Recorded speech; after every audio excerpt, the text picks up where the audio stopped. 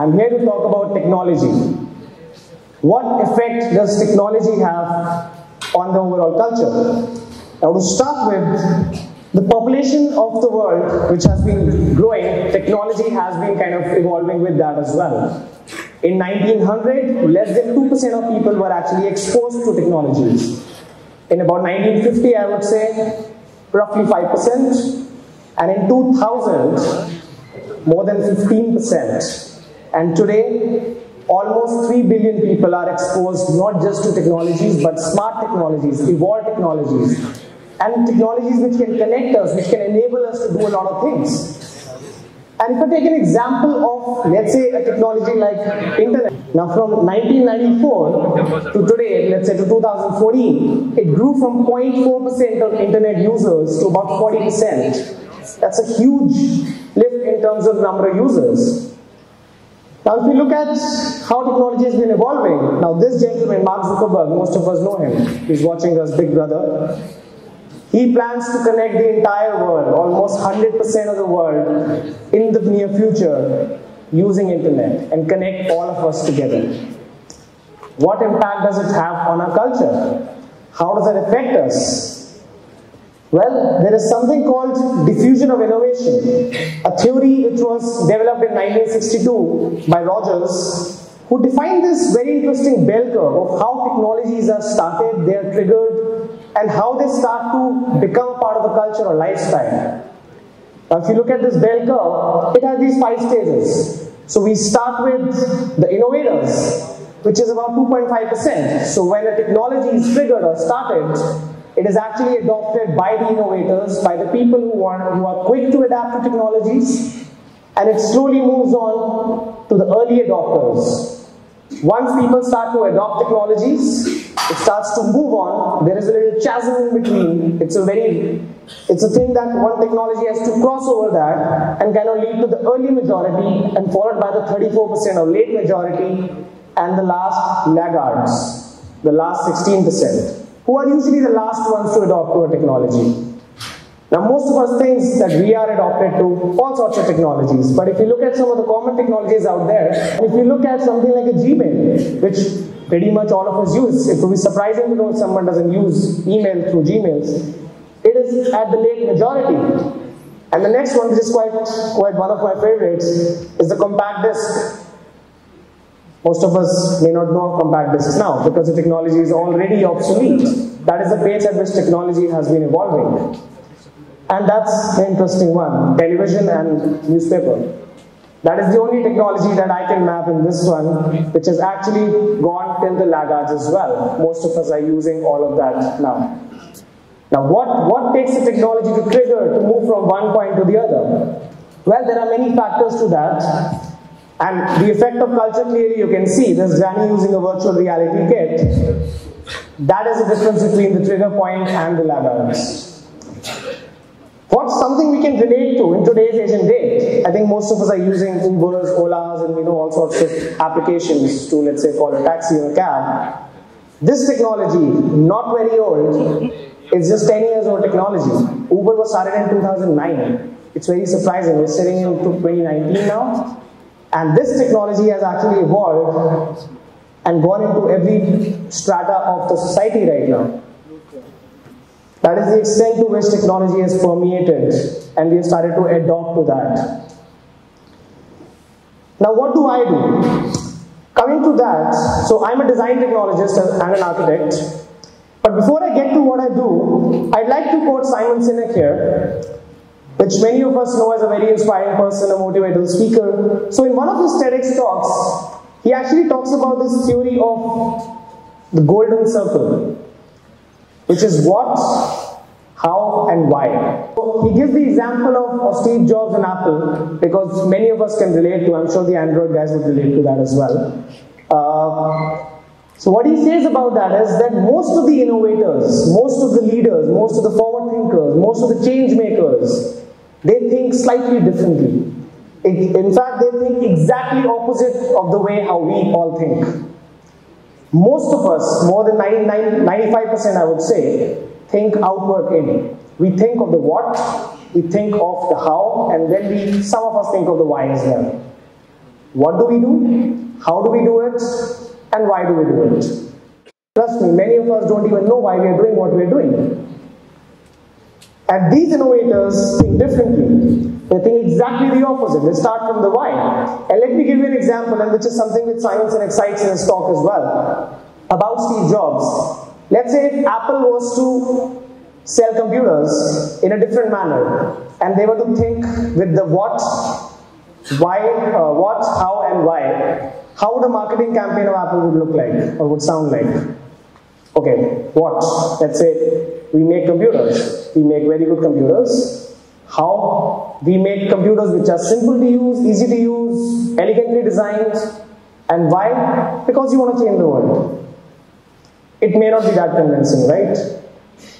But if you flip this the other way, and that is exactly how Apple markets and campaigns, they think, talk, communicate, and act exactly the opposite way. We want to change, challenge the status quo. We want to change the world using technology. That's the why. How do we do it? We apply that in making elegantly designed computers, easy to use by everyone. And what? We make computers. You want to buy one? That becomes a selling campaign. And that's exactly how they think, they act, and they communicate.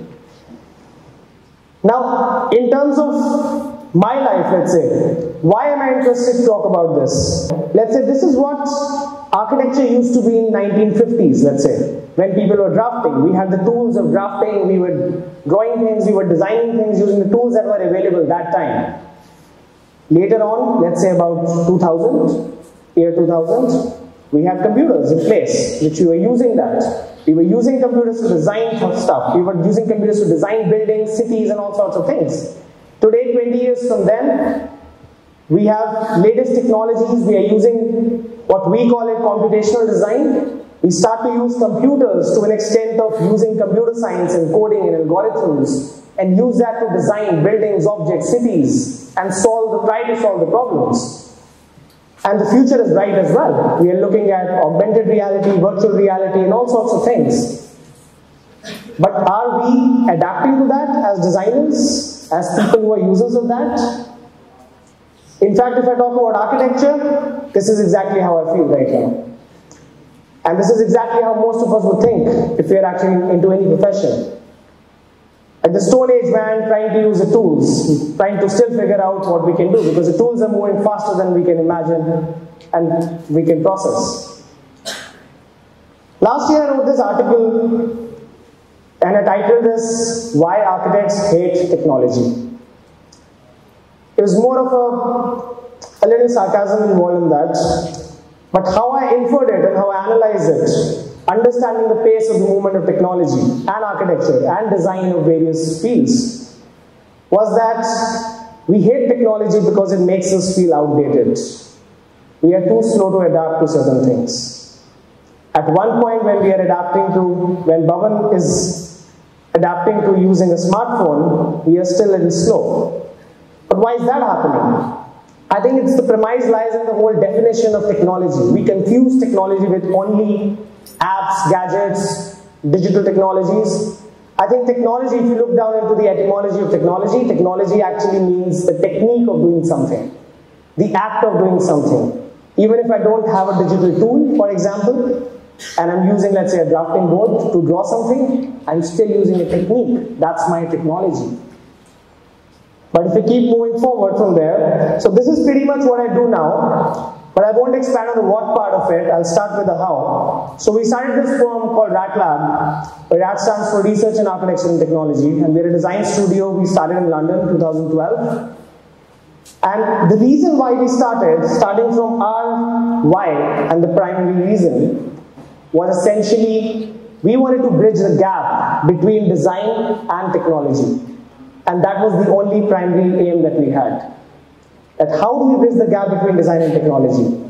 We see a lot of designers, a lot of things happening around the world. Cities are growing, we're having smart cities, we're having new kind of buildings, new kind of objects. Are we using technology in the right way? We thought probably not.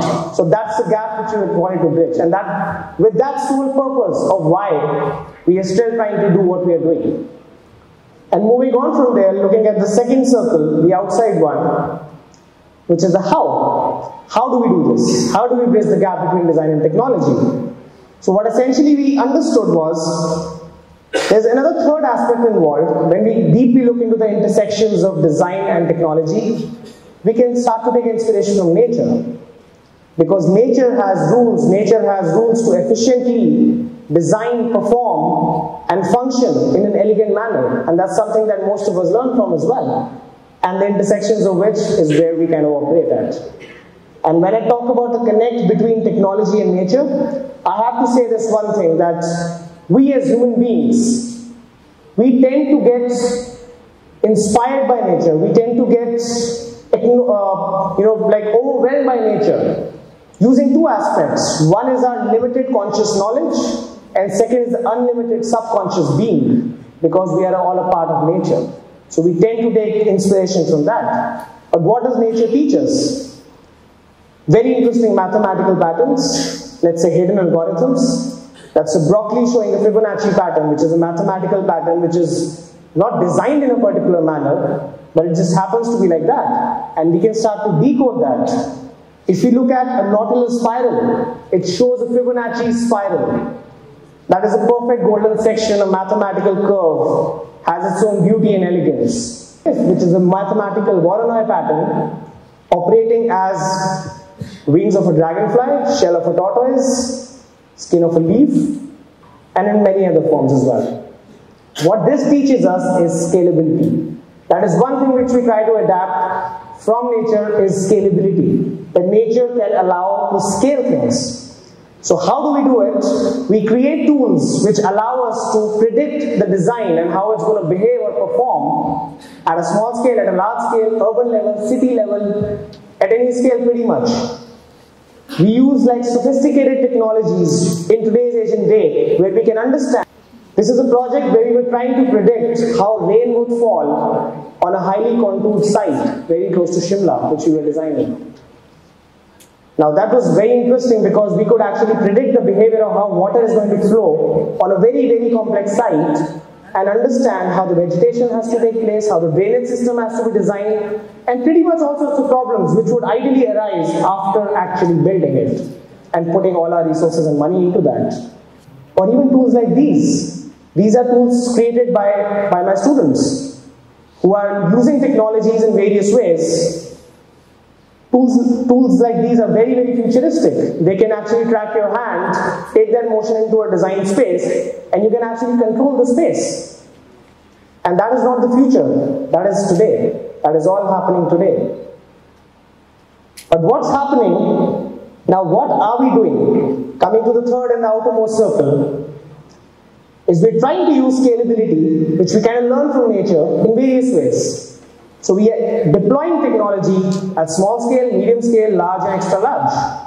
We're actually deploying that in various products, installations, facades, buildings, cities, and we work with different architects, designers, creative people from different disciplines, and collaborate with them to actually take the idea forward using technology. We use that to create spaces like these. Interior spaces where we use faceting and the mathematics of subdivision to, to devise an interior space. And I'm just showing you the look and feel of these kind of spaces. These are cost-effective, quickly built spaces where technology plays a pivotal role. When I talk about scalability, we work with designers from other disciplines as well. So we did this collaboration with a Greek designer when we started the company initially where we were trying to use technology and design to actually design a fabric or a texture of a fabric. So it's a collaboration between an architect and a fashion designer to create something which otherwise couldn't have been imagined through using technology. Large scale buildings. This is a project in Tokyo which we're a part of where we use physics engine and simulations to design the space and resolve that forward to make it buildable. Building facades like these but what we do is in this kind of situation, we actually predict technology by using deploying technologies such as let's say 3D printing to understand the buildability of something, for example, and how we can use that to understand and predict something before it's actually built. So that is the true meaning of deploying technologies. In India, we often think that technology is not for India, but the culture is changing. This is a religious space. It's going to be a temple in South India, which we are working on, using technology. A very sacred space, and we are actually analyzing based on the time of the rituals that happen, understanding how the behavior of the building would be when there are 4,000 people in a space versus 100 people in the space. How would the cooling nodes get affected? How will the light come in?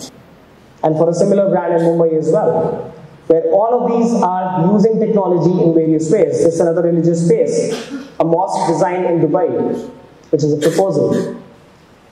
But how do we change things? How do we affect culture? How does one change culture?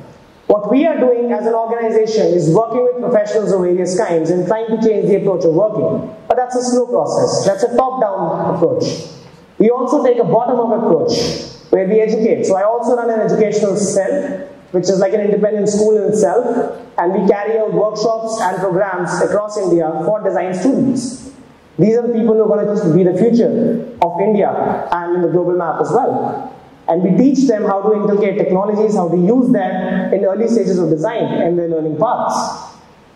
To build stuff, build installations, understand technology, and deploy that in various ways. Few years back, I was the editor for Arch2O, which is an international uh, digital magazine for architecture. And I wrote this article called Create Your Tools First. That is something I truly believe in. That you've got to create your tools first and start to deploy that into design. And I also happen to be a follower of a lot of sci-fi movies. I don't know how many of you know of this movie. Anybody knows of Limitless? Yeah? Okay, so very interesting movie, which also talks about that we are limited to a particular percentage, maybe 10 to 15% of our brain. On a TEDx talk, I'm not here to talk about how drugs can actually make you use 100% of the brain, but what I'm trying to say is, this science fiction, that what if we could access 100% of our brain and mental capacity and use that to create something? I feel exactly the same way when I use technology, which enables designers to access 100% of the design spectrum to create something and solve complex problems.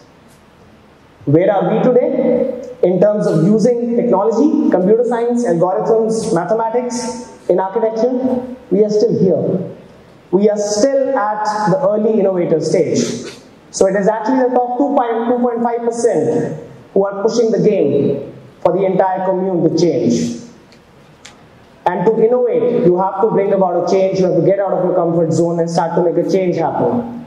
And I would end I would end the talk and leave you with that note that before you start to figure out what you do and how you do it, always start with a why. Thank you very much.